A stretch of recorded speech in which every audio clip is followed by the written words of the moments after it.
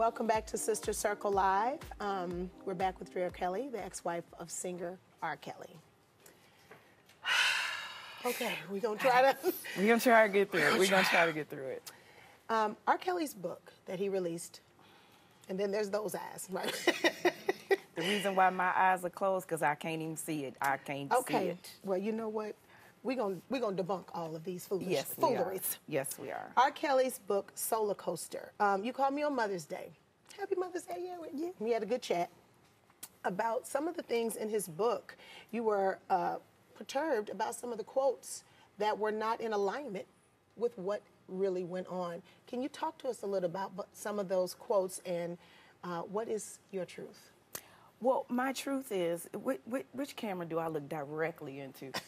Uh, let's see. This my truth is, Robert, you don't get to tell my story. That is my truth. You should have never put me in your book.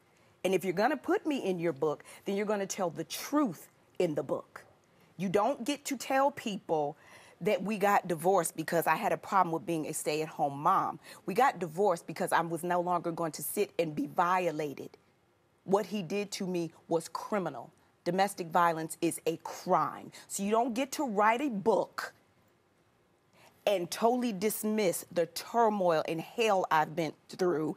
And then you're just gonna, we're gonna sugarcoat it and just say, oh, because she didn't wanna be a stay at home mom, you know, that's why we started arguing and fighting. Well, I asked her if she didn't love me anymore. She threw a ring into the pond. No, I threw a ring into the pond because there's not enough housekeepers, Maybachs, sharks, private planes, jets that's gonna allow me to continue to let you abuse me. That's what you put in your book. You put the truth in your book, not what you want people to know. Drea, for women who are at home going through domestic violence, can you take us through some of the things that you went through that you experienced in your marriage with R. Kelly? The control, the verbal abuse, the emotional abuse, the psychological. I mean, it, the, the funny thing about it, like I said, we've been women who have survived this. You've been in it for so long that the physical is really the aftermath. And there's no real way to pinpoint it and say, on this day, at this time, this is when it happened. It's typically verbal when it starts, it's about the control. I mm-hmm. think as women, we have been taught that men are in control when it comes to relationships. Yes. The first thing we're taught as little girls is that violence equates being liked or loved. Yes. As little girls, if Tommy pulls your hair, oh, he's only He doing that because he you. likes you. Yes. If he kicks you, he's doing that because he likes you. Yes. So you top that with growing up in a household where I had a Baptist preacher, a man who took his hands to cast out demons and bless people and christen babies are the same hands that are choking the life out of my grandmother. So you topple that with getting in an abusive relationship with a man who, again, my grandfather was a pillar in the community. And here you are with a man who's a pillar in the community. He's a superstar. Mm-hmm. But what people don't also know is I didn't get with Robert when he was super famous. Right. He just left public announcement. Right. He was working his way to becoming the R. Kelly that people know today. And I will say this, and people can take it how you want, but I know my worth. He didn't have a Grammy before he met me, and he hasn't had one since I've been gone. And that does not speak to his music and his genius and his talent. But his it speaks to the woman behind the man that kept him strong, Mm. that prayed for him, that loved on him, that took him in despite your faults. I know what I brought to the table. When you have an inspiration like me, you're going to get a Grammy. Mm. But when you do me wrong, you're not going to get a Grammy. God is very real about how you treat your wife. Mm. And until he makes it right by me, he thinks he's living in hell now. He hasn't seen anything yet. And that's not a threat, that's a promise from my father. Drea, some will say that Robert is, or R. Kelly, is living in his darkest hour right he, now. he hasn't seen his darkest hour. What was your darkest hour, though? What was yours? My darkest hour was being in Miami. Took Joanne, Jay, and Rob to Parrot Jungle Island. And we went and took pictures. And back then, what people call photo bombing now, back then, I'm gonna tell you how long ago this was. You had to go take film to get developed at Wolf Camera or Walgreens. It was a throwaway it. camera. It was a throw. Yes, yes. So no filters. no filters. Okay. No. And um, we're looking at the pictures. So, you know, when you get them in the envelope, you don't see the picture. So we're sitting there, we're going through the pictures. And Joanne is sitting at the foot of the bed.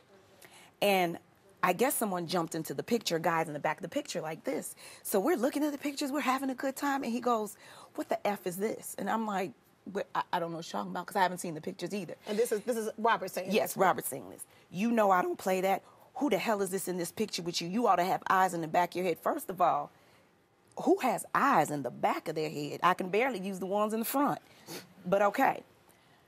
What was so different about that moment was Joanne. She's looking at the pictures and she looks up to her dad and she goes, Daddy, why are you being mean to my mom? Why are you talking to her like that? And it was like a light switch went off. And I said to myself, Drea, you have to make a choice right here and right now. If you stay, you are signing her name on a contract she never read. If you stay and she ends up with an abusive man and you tell her to leave, you are a hypocrite because her answer to you is going to be, why would I leave him when you stayed with my daddy all these years? So that was going through my head. And I just remember thanking God because in that moment I knew I didn't have the strength to leave him yet. But my baby girl gave me the power. Did Joanne, did JoJo ever see, because she's the oldest. She's the oldest. Did she ever see any of the physical aspect? No. Thank you. God. shielded her. I Thank shielded God. her. But you know what? I'm a mom that likes to be a living example. And it wasn't until I left that I wasn't teaching her to be strong. I was teaching her to be a liar. I was showing her how to hide bruises. I was showing her how to be a lady of grace in turmoil. And that's not what I wanted for her or Jay or Rob. I didn't want them to end up like some kids that come home and their mom is dead and they don't know why.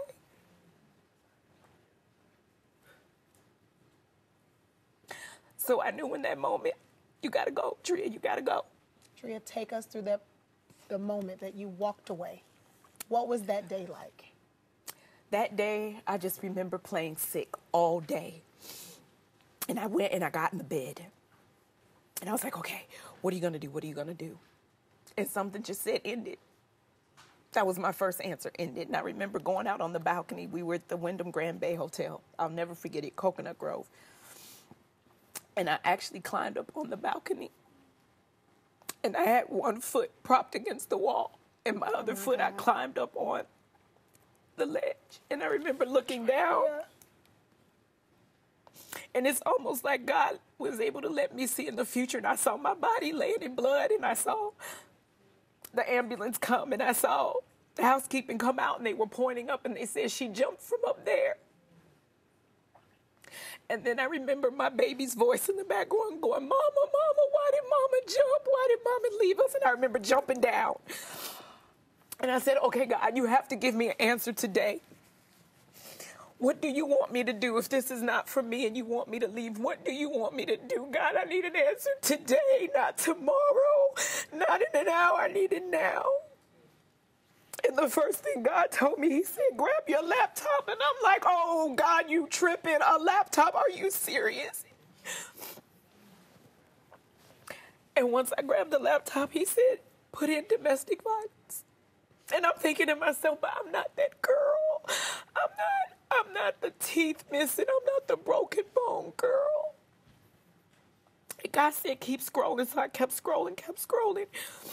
And at the end of domestic violence awareness website, there was a questionnaire. And there was 17 questions. And they ask you, has your abuser ever done?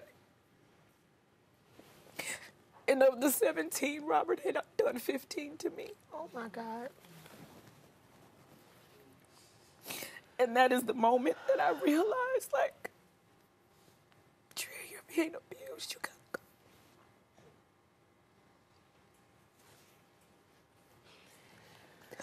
We want to mention again that we did try and reach out to R. Kelly and his representatives, and we have not gotten an answer.